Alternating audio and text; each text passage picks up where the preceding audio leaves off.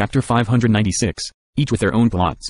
It was not long after the walkabout sect had left that Elder Wu Chi came up to Elder Wu Hen and said, Taoist Wu Hen, as I see it, the Great Cathedral and the Tristar sect aren't going to just let things go. Although they are bound by their heavenly oaths, they are keeping their eye on the Sacred Sword Palace. If that sect succeeds in their revenge, then they will still have a chance to strike. How about our walkabout sect also? If this was Elder Wu Hen from a few days ago, this kind of reminder like this wasn't even necessary as he would have already considered different angles and calculated the best strategy. But now, he had no such inclination or interest, so he just lightly smiled. Wu Chi, have you noticed? Despite the fact that we've all been focused on this child for the past few days, none of us were able to do anything to him? This time around, he even managed to fool everyone by being a wolf in sheep's clothing. So what? He was just lucky. Lucky? Elder Wu Hen smiled nonchalantly. In the world of the strong, you can be lucky once, but definitely not twice or thrice. I can guarantee that the Sacred Sword Palace will definitely be unable to deal with Jiang Chen. And if they keep underestimating him, they might even eat another loss. Let's go. Our walkabout sect shall not meddle in these muddy waters any longer. As Elder Wu Hen was a very shrewd and thoroughly wily old fox, he was able to assess the overall situation without losing his presence of mind. He saw in Jiang Chen an obscure potential. Through his foxy old eyes, this Jiang Chen was definitely not someone whom those in the Myriad domain could suppress. This child would surely shine brilliantly in his own time. Unless one could instantly kill him on the spot, forming an enmity with someone like him would lead to endless trouble. Hence, Elder Wu Hen felt that there was no need to continue their feud since the Walkabout sect had managed to resolve all grievances with Jiang Chen. Otherwise, the Walkabout sect would never have a day of peace when this child grew into his own. Past events had already proven that the younger generation of the Walkabout sect, whether it was Wei King or Wei Zinger, were unable to contend with Jiang Chen despite currently having stronger cultivation. Although there were other talented youngsters in the Walkabout sect, they still lacked a certain temperament compared to Jiang Chen, the ability to conjure clouds and summon rain with the flip of a hand. Undoubtedly, Jiang Chen's previous prudent planning regarding the use of the antidote as a bargaining chip had caused even a vindictive person like Elder Wu Hen to give up on his feud and make a clean break. It wasn't that he was a magnanimous person, but that he could identify from the details that Jiang Chen had a kind of potential incomparable to that of his peers. Thus, although Elder Wu Hen had guessed Wei King had died at Jiang Chen's hands, he didn't even bring that up. Firstly, Wei King wasn't his descendant. Secondly, although Wei King had been talented, his frivolous character rendered him unable to accomplish great things. There was no need to create waves for him. After the walkabout sect left, the TriStar Sex members who thought similarly to the Great Cathedral also decided that they were going to be the Oriole behind the mantis stalking the cicada. Elsewhere in the jungle, after Elder Chen formed several hand seals and blew a few whistles, a few green butterflies quickly flew over. Their wings were gossamer thin, and looked oddly like two swords. Sword butterflies.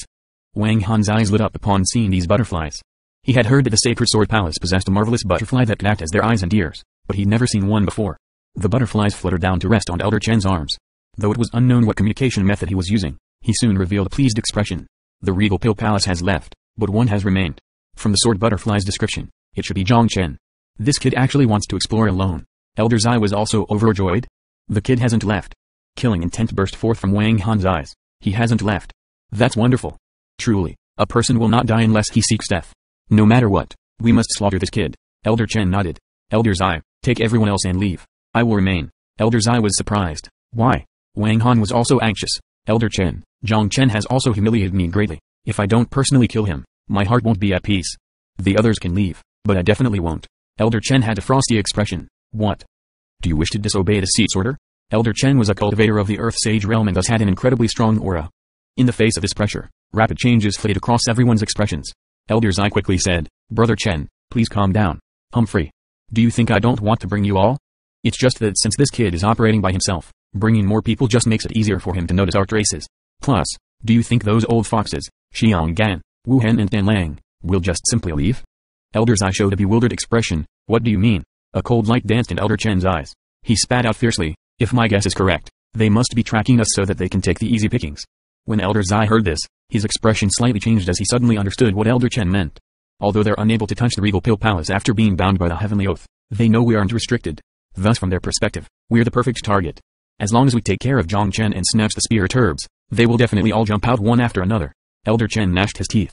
Although he could guess that this would happen, he had no way of changing the outcome. Colliding head-on with the three other sects would only result in a lose-lose scenario.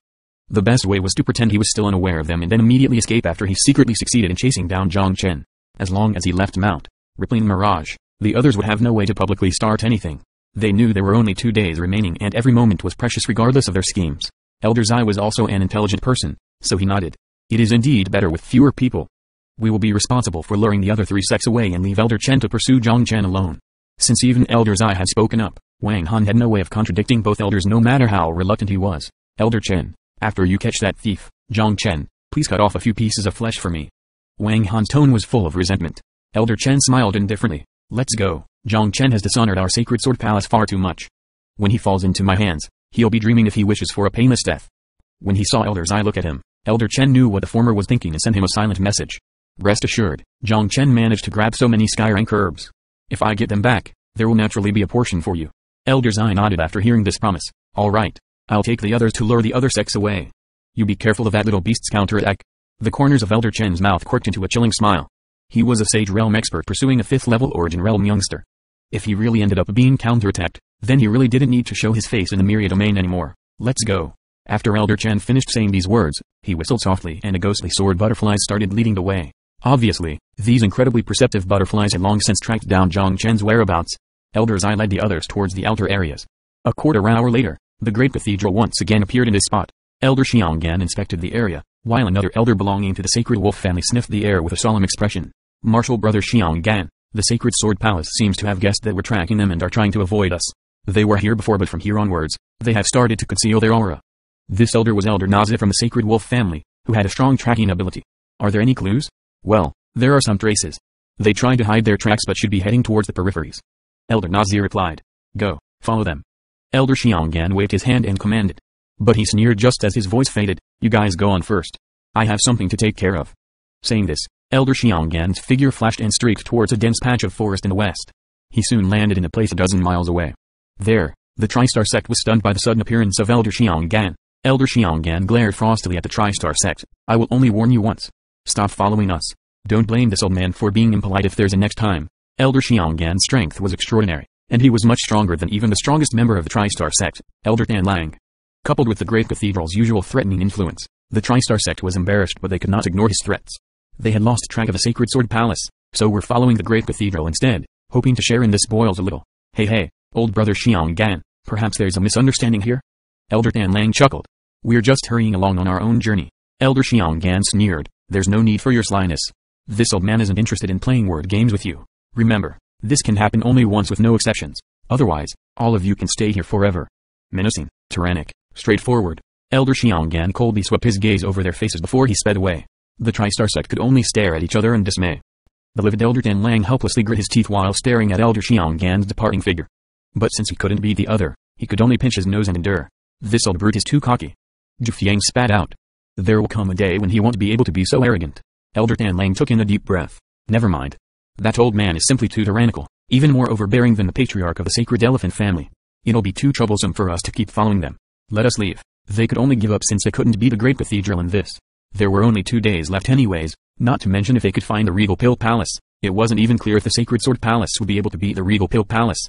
Besides, the Regal Pill Palace certainly should have left after receiving so many good things. Thus, after much deliberation, Elder Tan Lang decided to give up pursuit. Jiang Chen had taken the long way around and left some gold bitter rats as sentries along the way. He suddenly halted as he received some surveillance information from the rats. The six great sects are all rather remarkable. If I had been a bit more careless and didn't leave the gold bitter rats as watchers along the way, I might really have fallen into their traps. Jiang Chen was secretly amused as he gained a deeper understanding of the intricate schemes between the six great sects of the Myriad domain. However, instead of being troubled, he was secretly pleased. From these gold bitter rats reports, he knew that the other sects wouldn't team up to oppose the Regal Pill Palace. As long the Regal Pill Palace wasn't dragged into this whirlpool of a mess, Jiang Chen had nothing holding him back.